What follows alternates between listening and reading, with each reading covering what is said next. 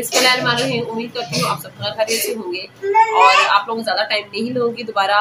और आज हम बात करेंगे ओरी फ्लेम के हेयरक्स एडवांस केयर शैम्पू और कंडीशनर के बारे में। जैसे कि आप वीडियो में देख ही रहे हैं। अगर इस तरीके से ये ये है कंडीशनर इसका और ये शैम्पू है। ये शैम्पू और कंडीशनर का मेरा अपना पर्सनल यूज़ है, इसलिए मैंने सोचा कि आपसे इस बारे में लाजमी शेयर करूँ।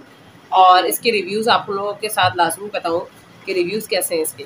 ये थिनिंग हेयर्स के लिए है, जिनके बाल ज़्यादा घने होते हैं, ज़्यादा उलझे होते हैं एंटी हेयर फॉल होता है रफ होते हैं ड्राई फॉर्म में होते हैं तो उनके लिए सबसे बेस्ट है। मेरे बालों, बाल तो इतने ज़्यादा ख़राब थे, तकरीबन एक से एक महीना से पहले इतने ज़्यादा ख़राब थे कि कंगी करो या ना करो वो बराबर ही था। लेकिन जब से मैंने ये ओरी फ्लेम की दो चीज़ें यूज़ की हैं शैम्पू कंडीशनर तो इस चीज़ का अंदाज़ा भी आप लोग नहीं कर सकते कि कितना ज़्यादा फ़ायदा हुआ है, कितना ज़्यादा बेनिफिट मुझे मिला है।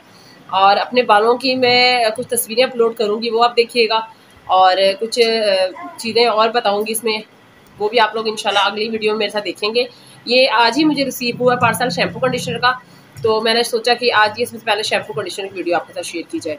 उम्मीद करूँगी आपने मेरी वीडियो को पहले भी वीडियो जो अपलोड हुई है, उनको पसंद किया होगा। कमेंट्स आप लोगों के आते रहे, मुझे अच्छा लगा, आप लोगों ने कमेंट्स किए, मुझे, मेरे चैनल को सब्सक्राइब किया।